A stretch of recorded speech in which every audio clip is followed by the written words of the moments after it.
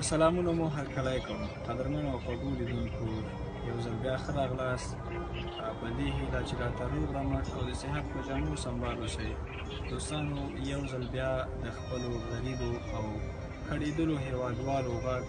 تاسو ته در رسول غواړو دوستانو زموږ په هیواد کې داسې ګڼ شمېر هیوادوال دي چې د غریبۍ څخه د غربت څخه سر ټکوي له دغې جملې څخه هم یو دغه کورنۍ ده چې نن غواړو تاسو ته په بشپړ ډول سره څرګند کړو البته دغه یاده کورنۍ مو تاسو ته یو ځل د فیسبوک په ویبپاڼه ښودلې وه نو نن په دې موخه راغلو چې تاسو ته د ژوندانه حالت هم در وپېژنو در وښیو او د دې ترڅنګ کوم کومې مرستې چې ورته استول شوي دي هغه هم غواړو چې ورته ورکړو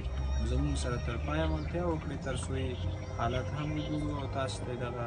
کورنۍ حالت څرګند شي قدرمنو او خوږو هیوادوالو دغه کورنۍ چې تاسو ګوري زما تر څنګ ناسته ده دغه د دغې کورنۍ څېره مو تاسو ته یو ځل د فیسبوک په ویبپاڼه کې درښودلې وه په دې هیله چې تاسو لیدلې وي او د دوی کوم وضعیت او کوم حالت چې مو تاسو ته ښودلی و او دوی چې کومه غوښتنه کړې وه د هیوادوالو څخه زموږ د ټولنې څخه نو نن په دې موخه راغلو ترڅو کوم ورونو چې ورته کومک استولی دی هغه غواړم ورته ورکړم او د دې ترڅنګ د ژوندانه مشکلات به هم تاسو ته در وپیژنو تاسو ته به څرګند کو د دې کور د دغه کورنۍ د دغه هستوګنې ځای دغه جونګړه به هم تاسو ته در وښیو نو د دې ترور څخه به لومړی وپوښتو چې خپل مشکلات خپل د زړه فریاد تاسو ته هم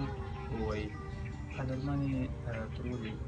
که خپل د اولادونو د روزنې په اړه همدارنګه خپل د ژوند د مشکلاتو په اړه څومره په خپل ژوند کې تاسو کړیدلی یاست او د دې ترڅنګ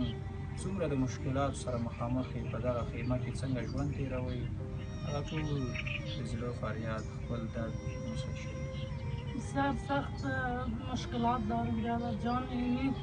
علمی خواهش دارم که برادر که ما کمک کنه برای روزی ما خرچه نیست روزه روان است مسلمان است ما خیر مسلمان نیست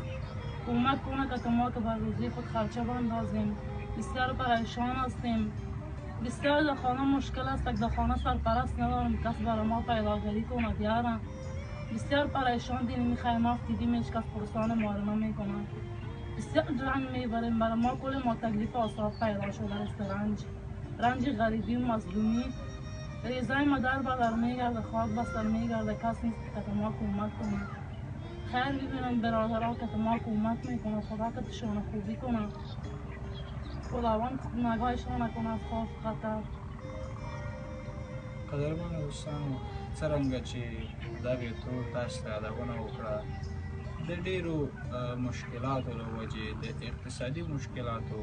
او د دې ترڅنګ د غربت د غریبۍ له وجې په دوی ډیر زیات ذهني فشار دی دوستانو تاسو خپل قضاوت وکړئ دوی په دغه سي خیمه کې ژوند کوي چې د ننګرهار په ولایت کې ډیره ګرمه هوا هم ده او د ډیرې سختو مشکلات سره دوی مخامخ دي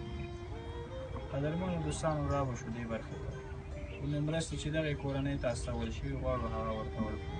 لومړی به تاسو یادونه وکړم چې یو ورور د مها چې محمد زاهد په نوم دی د نامعلوم ځای څخه یې لس زره او نهه سوه کلدار یې دغې کورنۍ ته استولي دي د دې ترڅنګ د اغلې هیلې احمدي د خیرټ روم لخوا هم دوه زره کلدارې د دغې پیسو سره یو ځای شولې چې ټولې دولس زره او نهه سوه کلدارې کېږي غواړو چې دغې کورنۍ ته یې ورکړو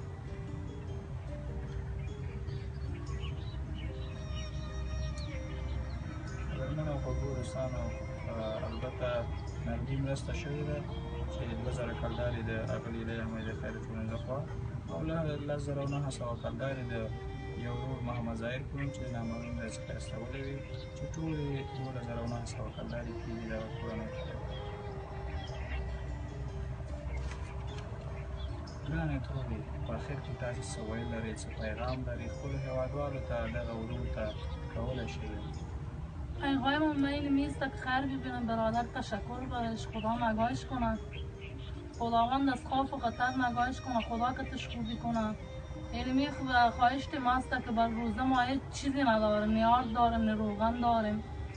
اینمی خواهش کریم است که کتا ما کمک کنه برادر خیر ببینه که پیسر بر ما آن کرده کمک کرده کتا ما بس خدا نگایش کنه خدا کتش کمک کنه بس الله نگایش کنه اینمی خواهش دارم داس څخه هم مننه کوم تروري قدرمنو هیوادوالو په خپلو غریبو هیوادوالو زړه وسوځوئ رحم پرې وکړئ او د هغوی لاسنیوی وکړئ د دغې حالت څخه یې وژغورئ په ټولو هېوادوالو باندې غږ کوم چې د دغې کورنۍ په څېر ګڼ شمېر نورې کورنۍ هم زموږ په هېواد کې شتون لري چې د دغسې حالاتو سره څخه سر ټکوي او د دغسې حالاتو سره مخامخ دي قدرمنو دوستانو که څوک غواړي چې د خپل غریب ولس ته خدمت وکړي هغوی سره مرسته وکړي نو زموږ د ټولنې سره یو ځای شئ او یا هم خپل میسج پرېږدئ زموږ سره په تماس کې شئ تر څو دغه کورنۍ د دغه حالت څخه وژغورل شي نو ستاسو مرستې به په مستقیم ډول دغه کورنۍ ته رسیږي دوستانو نورې خبرې نه اوږدوم زموږ خپرونه هم مخ په ختمېدو ده مخکې له دې څخه چې زموږ خپرونه مخ په ختمېدو شي او له تاسو څخه اجازه وغواړو دوستانو د دغه کورنۍ دغه جونګړه هم تاسو درښیو د دغه جونګړې په لیدلو سره هم موږ له تاسو څخه اجازه غواړو پر بلې خپرونې تاسو په لوی او بښوني کې الله سپارم زموږ نورې خپرونې مه هېروئ هر چېرې چې یاست سوکاله او کامیابه اوسئ الله